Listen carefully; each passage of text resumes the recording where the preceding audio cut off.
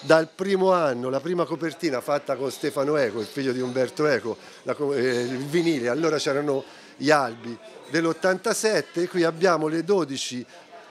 copertine di quelli che sono stati i dischi del periodo 1987-1998. L'infanzia ma anche gli anni d'oro di Arezzo Wave racchiusi nel calendario 2023. Gli anni d'oro, i, i, primi anzi anni che hanno visto Ben Harper, Manu Chao, eh, i Negrita quando erano ragazzini piuttosto che Dave Matthews,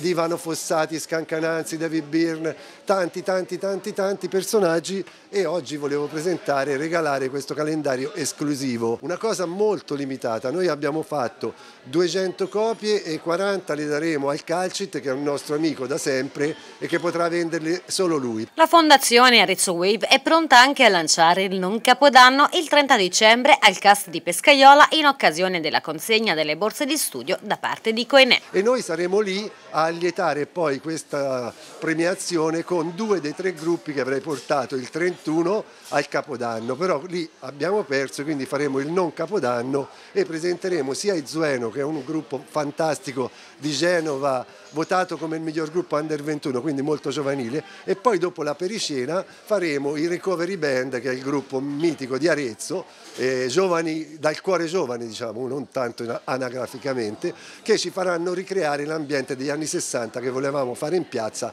che in piazza avremmo fatto una cosa eccezionale ma appunto l'anticiperemo il 30